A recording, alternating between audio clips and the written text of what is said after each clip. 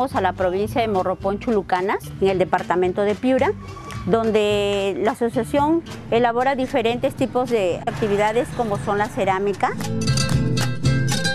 Mi inicio desde niña, desde la edad de 13 años, viendo que mi padre era alfarero y él trabajaba como cero ollas, tinajones, peroles para lavar ropa, todo utilitario.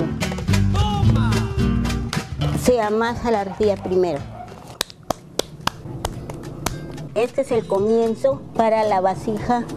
Este es el comienzo para la chola. La piedra va por adentro, la paletita va por afuera. De alisado empieza el levantado.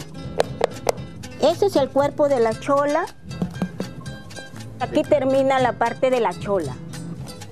Este es el alisado de la vasija. Cuando ya se ha terminado la base, en este caso vamos a hacer una chola cargando un cántaro de chicha. En el caso de la escultura siempre nosotros comenzamos a tallar, a perfeccionar las, todos los grumos que quedan. El tallado en cántaro, que también es lo mismo. Con las piedritas hacemos el pulido para volverle a pasar la segunda pasada, darle brillo y borrar las huellas de la piedra. El tallado de rostros en el caso de lo que es escultura. En darle este, mayor detalle en sus manos, hacerle sus deditos y también en el rostro hacerle los gestos que uno desee. ¿no? Esto consiste en poner las piezas en el horno, entonces ya empezamos a quemar.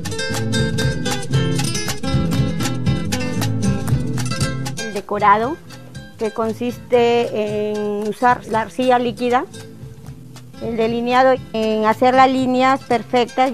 En este caso vamos a hacer el ahumado. Nosotros usamos la hoja de mango. Esta pieza ya está decorada, ya está delineada, recién va al horno.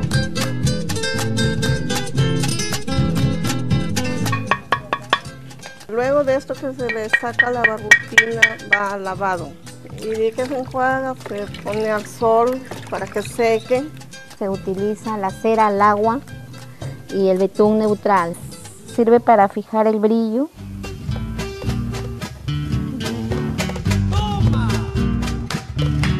En la cerámica se representan las actividades que hacemos acá en nuestro pueblo, ¿no?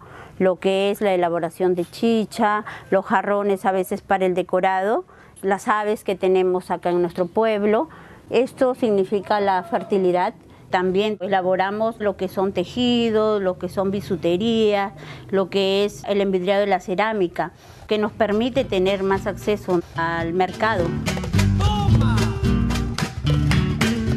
Nosotros estamos orgullosas de tener este arte, ya que nosotros tenemos todo el material acá a la mano, por decir la arcilla, eh, pigmentos, hoja de mango, que es lo tradicional de acá de Chulucanas. Para nosotros la arcilla es nuestra motivación, nos ayuda a plasmar nuestras costumbres, nuestras vivencias. A todas las mujeres que se sientan capaces, muy capaces de ser artesanas a la vez que nos sentimos nosotros orgullosas de nuestros ancestros, de nuestros, nuestra artesanía.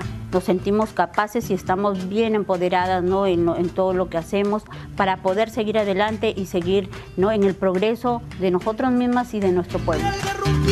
descalzos pies, tus fuertes lluvias, ardiente sol, tachiche poco y buena sazón. Los que Dios buena por convicción, llevan el arte en sus manos con la arcilla, que bendición.